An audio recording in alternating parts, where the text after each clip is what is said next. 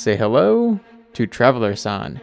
Through the creative use of game mechanics, and at times glitches, we're on a quest to see just how much of Genshin Impact can be completed using only the Traveler. And we sometimes break things. If you enjoyed the series, do make sure to like and subscribe. It helps Traveler-san out a lot.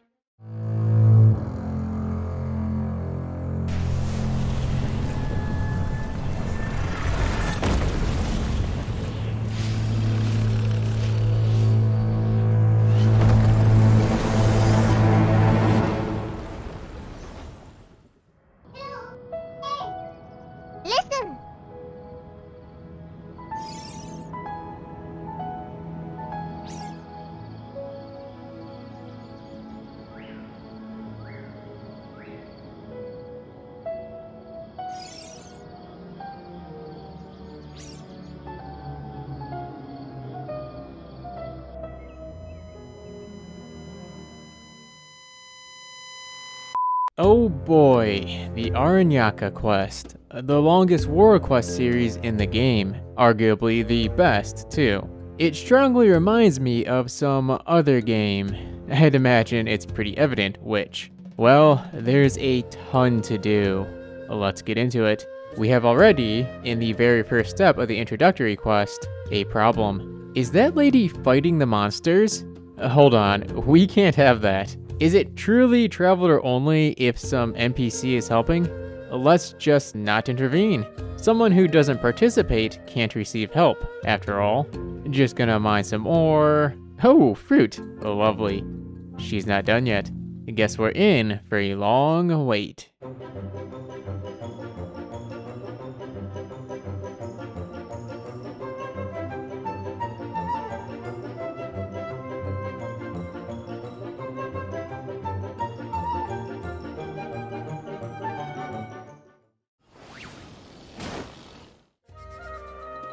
Yep, don't mention it. Really, don't mention it. Rana's invincible, huh? Kinda crazy. Ah, uh, why is he standing like that? Anyways, hustle Rana, hustle. You're darn right. I know I've said this before, but Starfell Sword makes every cutscene better. Feel free to count how many you see, because there will be a lot. And that, which totally isn't cheating, is how one wins a race. What?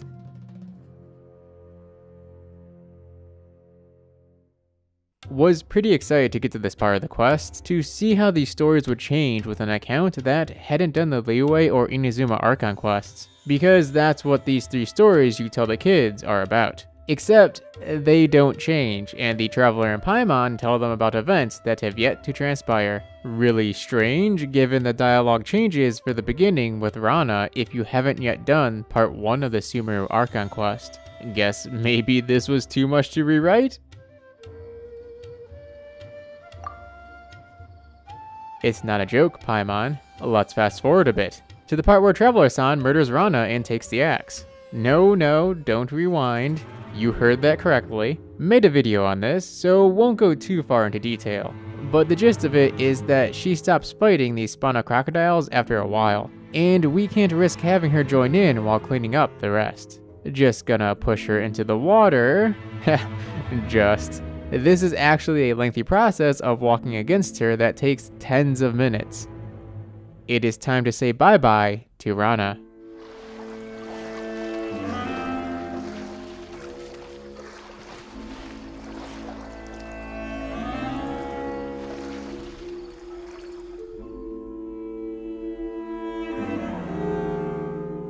Told you I'd be taking that axe. Of course, she respawns after the Spana crocodiles are defeated. Still, fun little experiment. I see. Making me light the fire when I don't have pyro. She's out for revenge. You know, this quest really seems to let you bully Rana through the dialogue options. Oh, you want to try my cooking? The most abrupt no ever. Paimon keeps trying to cover for Traveler-san. He does not mince his words, Paimon. He says what he means, and means what he says. She looks so sad though maybe Traveler San went a bit too far saying no like this. Yeah, this was surely going too far. Not that other thing though.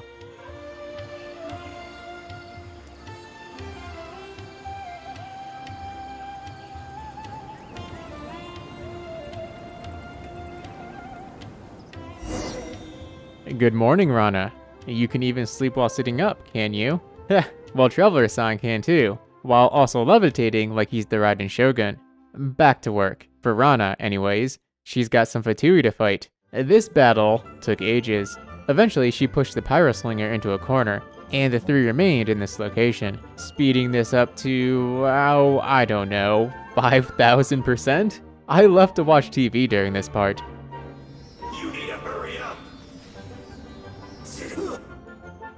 Finally, the end of the intro. This last boss had enough of Rana's invincibility and kept pushing her until she was out of its aggro range so it could fully heal.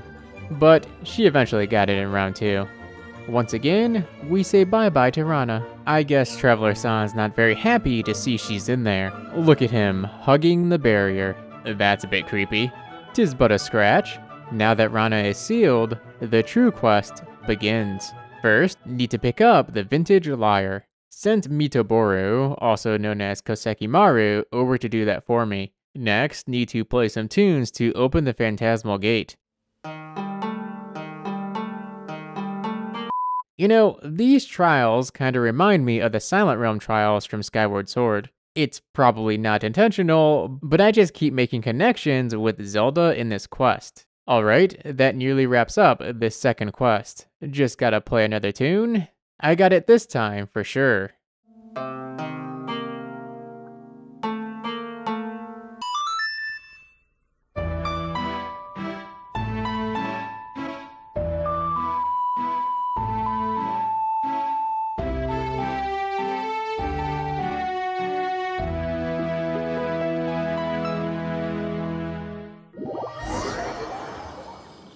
Okay, the introductions of the quest are done.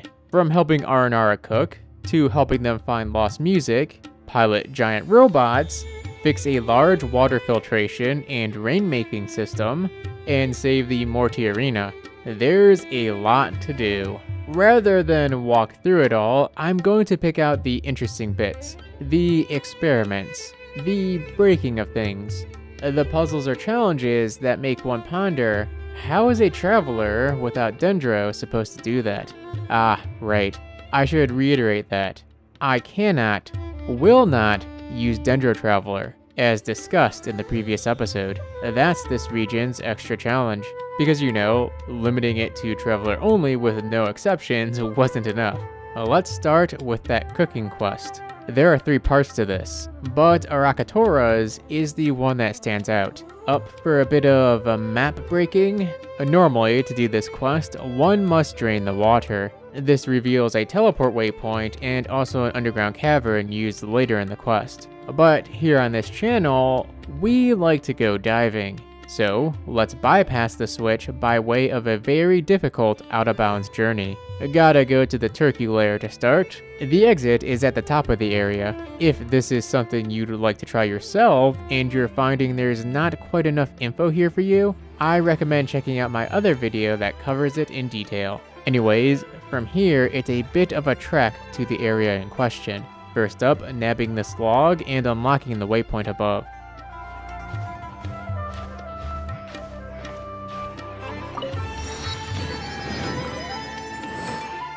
It's unfortunately not as easy as just going up from here and traveling to the location, because the only way in is too close to the surface of the water. Instead, need to stay below the map and climb up this stretched terrain, all the way over to this rock that's near the surface. It's a bit difficult to explain where exactly this is, but it's east of the teleport waypoint just unlocked. Now it's Starfell Sword time. This is tricky for a number of reasons. One, can't reset Starfell Sword if they all break, meaning it's back to the rock to start anew. Two, the reverse side of the terrain has backface culling, meaning it's not loaded in, and as such, has no collision. Carefully have to stand on the very edge because one more step and Traveler-san will be pulled to the other side of the terrain. 3. I don't have C6 Geo, so Starfell Sword only lasts 30 seconds.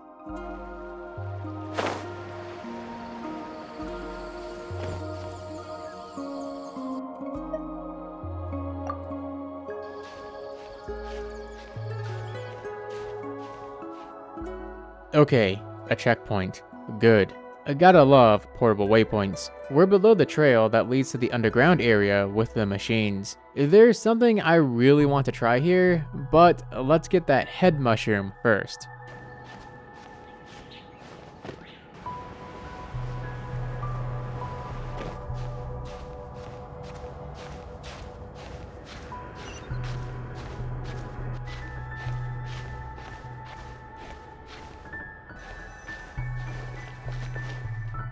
And there it is, the Withering Zone and our mushroom.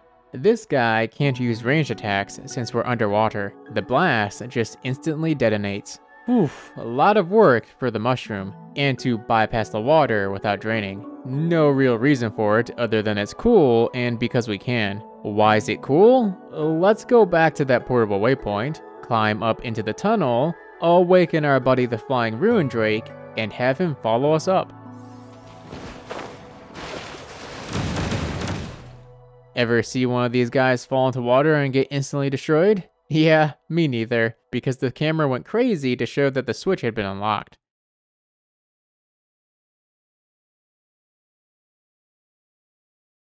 And with all that, the first Aranara has been recruited for Festival Utsava.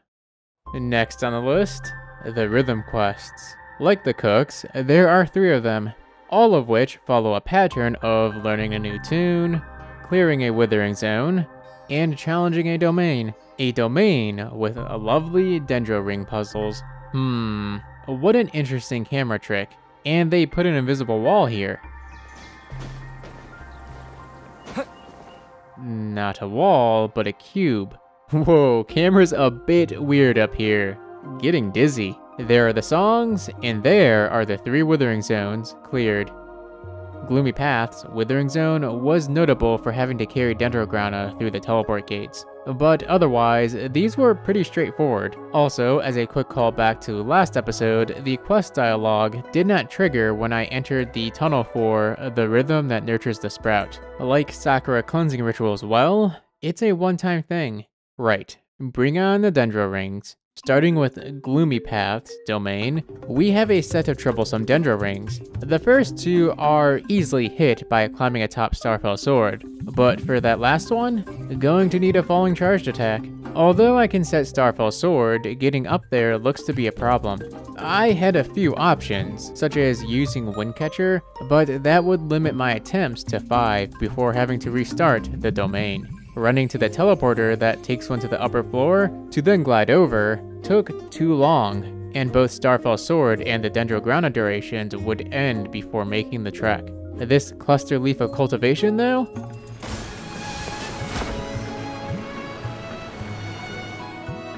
Just the thing I needed. The perfect height to reach the Dendro Ring.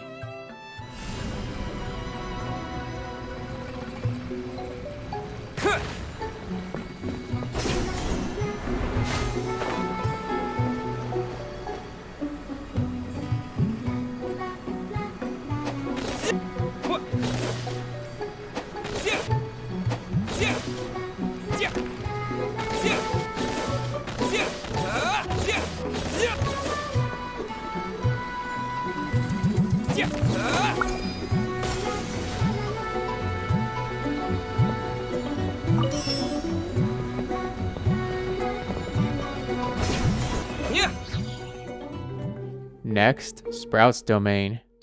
Wait, really?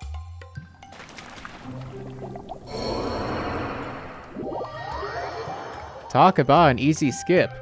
Oh, never mind. Dialogue is playing, but the monsters aren't loading in. Newer domains and their progression checks are such drags. More Dendro Rings it is. Doesn't seem all that bad. Hit this one, then that one. Oh, that's rather close to the barrier but not quite close enough to prevent Starfell Sword. We're still in the clear. Another falling charge attack, and we are done. Uh, that was three, wasn't it? Oh, come on. Here is how it's done. You'll need Windcatcher. First, Starfell Sword can reach that. By placing one in the water beneath, it can be stood on. Another Starfell Sword can be aimed up, and when it latches onto it, it'll do so in a way that doesn't require a falling charge attack. Timing has to be precise. The window of opportunity after placing Starfell Sword is 30 seconds, or 40 if C6 Geo. After setting Starfell Sword in the water, can use this algae as reference for optimal placement, run back and grab the Dendrograna. Stand atop Starfell Sword and aim up to set another on the Dendro Ring. Run south and climb atop these plants. Jump over to the vines, travel up them, and lastly, use Windcatcher to glide over to the Dendro Ring.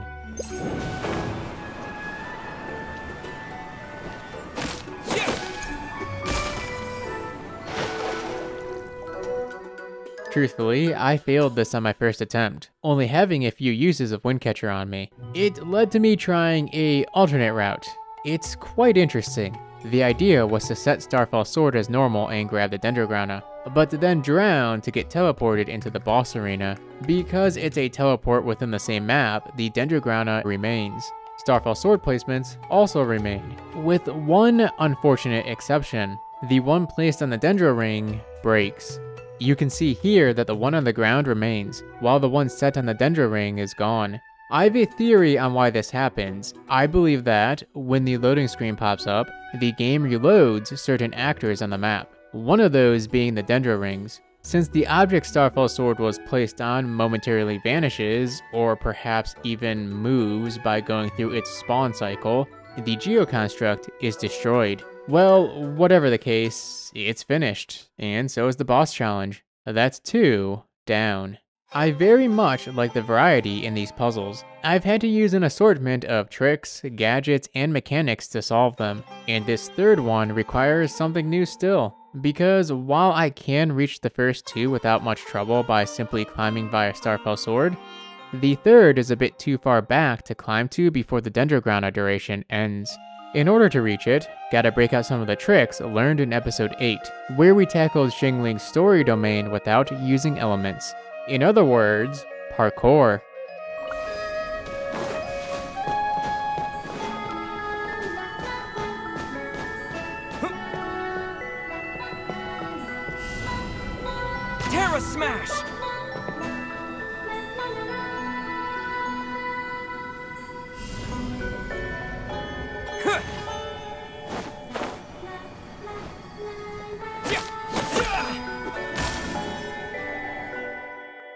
And with that, one more set of three quests is crossed off the list. Everything really is in threes with Aranyaka. Another set of three quests. I'm going to butcher these pronunciations, probably, so do forgive me. Agnihotra Sutra, Varunagatha, Vimana Agama. We start with the giant robot one, Vimana Agama. I like it when they actually add in the details that are mentioned in dialogue. Standing here and listening closely, one can hear the muffled, echoey chant of an abyss mage below.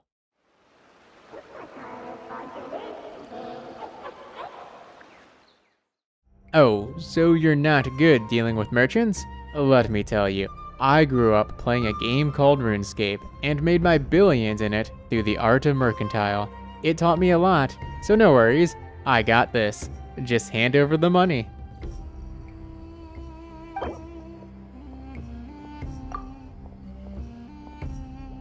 And you know what else it taught me? Never hand your money over to others. Everyone's out to scam you. They cannot trim your armor. They will not double your money.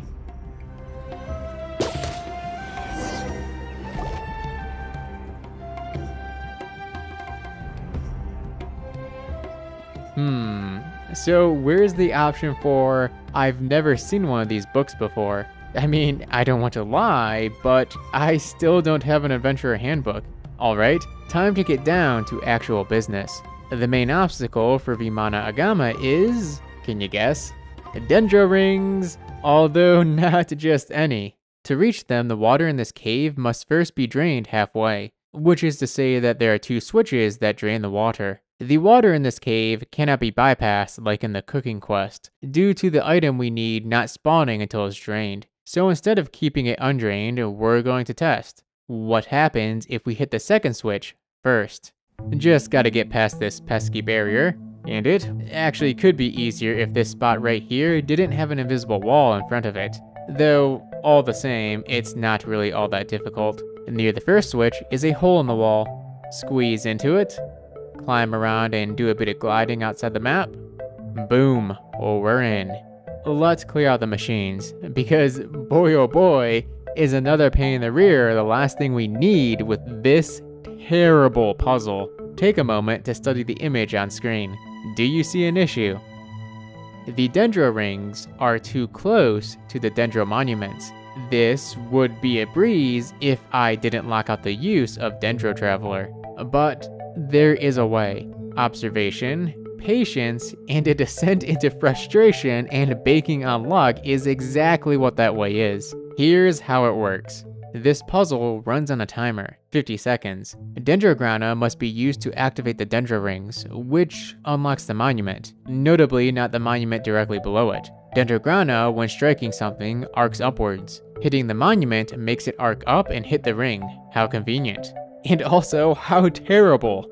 Because if that's happening, how in the world is it supposed to hit the monument? Let's take this analysis one step farther. Hitting these monuments is akin to threading a needle. The Dendrograna need to pass through an unbelievably small gap.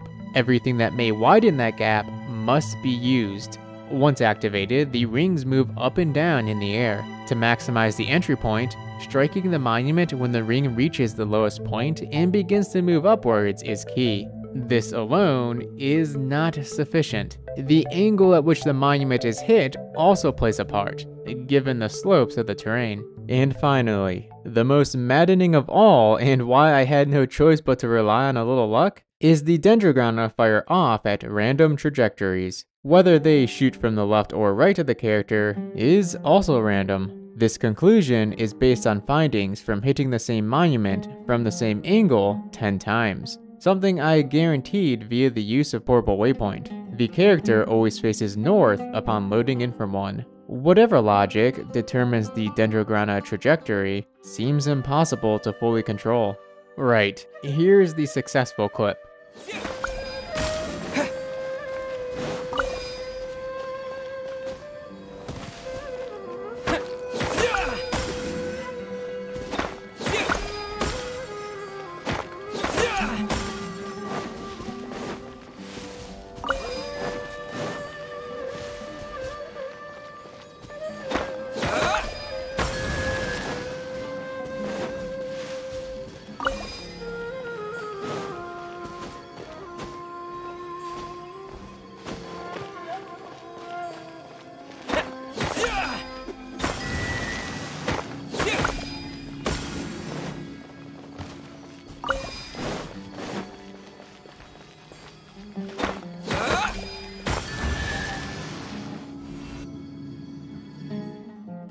And finally, to hit the switch. This very well could break things, and I was hesitant, but pressing. Okay, so it didn't drain. The water straight up vanished. And uh-oh, the quest didn't update, and the key piece didn't spawn in. That's not a good sign. Let's go hit that first switch, hoping I didn't break it, else the quest ends here.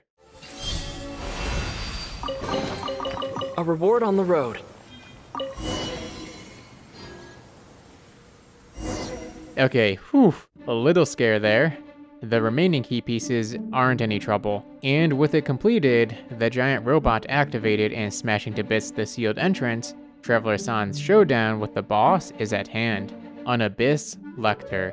It becomes apparent rather quickly that these enemies are trouble. Their first form is whatever, but the moment that shield goes up, it's a slog of a battle in which I have no choice but to endlessly evade while waiting for Starfell Sword to recharge. The falling rocks cannot be iframed with sprints. Gotta clear the red zone. Uh, this is a bit unexpected. My dude, where are you going? Now he's up there. And this is terrible.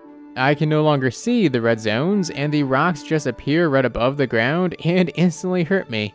Digging deep for this one. I got this. I got this. I don't got this at all. Maybe I wasn't meant. Fine, round two it is. Really. On you. This is not the. Actually digging deep now.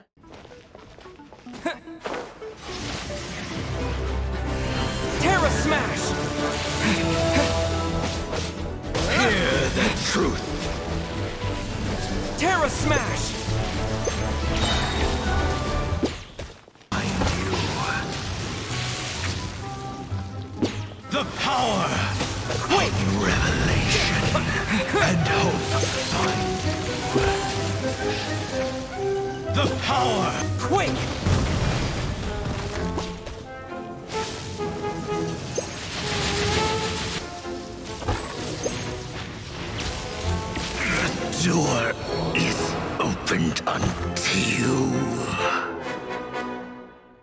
Uh, that was a long fight. If ever two or three of these guys pop up in a single battle, things might get very, very difficult. Definitely looking forward to it. With the super bad stuff cleared up in this part of the rainforest, we've reached a good place to pause the adventure for now. Cramming all of the game's longest quest series into one episode would probably have this video pushing 50 minutes. But I can at least leave you with this little spoiler. Traveler-san does indeed reach the end of the quest. And we'll be doing just that in the next episode, where we also, naturally and of course, attempt to break the Marana boss fight. Thanks for tuning into the episode. As always, if you're enjoying the series, it's appreciated if you'd consider subscribing. Traveler San still has a ton of content to clear, so you can bet there will be plenty more. And if you'd like to keep up with sneak peeks, strange finds, and whatever else I feel like sharing, feel free to follow me on Twitter at Moosashiden. This is Moosashi and Traveler San signing off. Till next time.